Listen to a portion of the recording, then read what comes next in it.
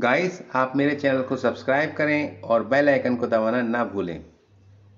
दोस्तों, बेंगलोर को electronic city के नाम से जाना जाता है। दरियाई घोड़े का पसीना गुलाबी रंग का होता है। ऊँट, कुवैत का राष्ट्रीय पशु है। मेढक एक ऐसा जानवर है जो पानी में रहता तो है, लेकिन पानी नहीं पीता है। छिपकली एक समय में या तो दौड़ सकती है या सांस ले सकती है। दोनों काम एक साथ कभी नहीं कर सकती।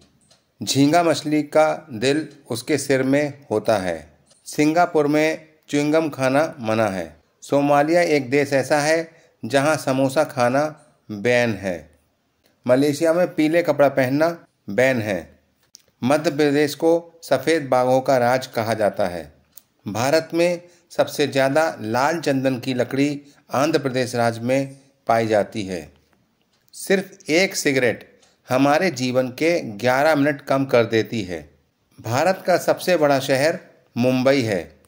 मनुष्य के आंसुओं में सोडियम क्लोराइड पाया जाता है। दुनिया का सबसे महँगा तरल पदार्थ बिच्छू का जहर है। भारत में सबसे लंबी दूरी तय करने वाली ट्रेन का नाम है विवेक एक्सप्रेस। हमारे शरीर में सबसे ताकतवर मसल्स जीव होती है।